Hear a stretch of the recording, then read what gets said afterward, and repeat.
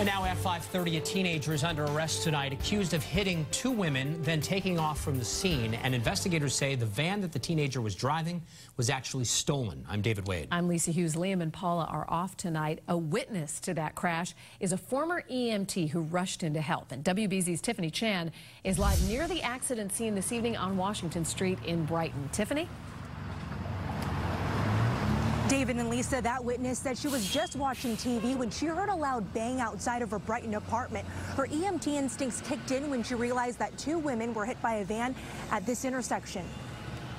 It was really scary. Um, there were two people in the road. Scary was the word used to describe what happened at this Brighton intersection. Boston police arrested a 17 year old boy from Stowe after he allegedly hit two women with a stolen van and kept driving. We heard immediately, it, it sounded like a car on car collision.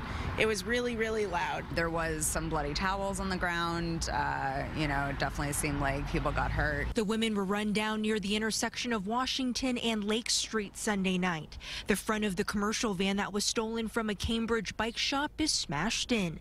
A neighbor who worked as an EMT heard the impact from her apartment and rushed outside to help. Not good. Um, yeah, they were both really seriously hurt. Um, yeah, they, they weren't in they weren't in good shape. Onlookers described the victims as two Asian women in their 20s.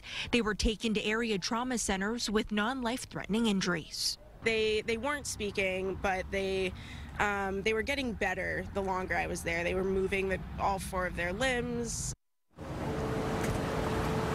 The women are expected to survive. As for that teenage boy, he's facing a long list of charges, including leaving the scene of an accident, driving without a license, and several other motor vehicle offenses. Live in Brighton tonight, I'm Tiffany Chan for WBZ News. Tiffany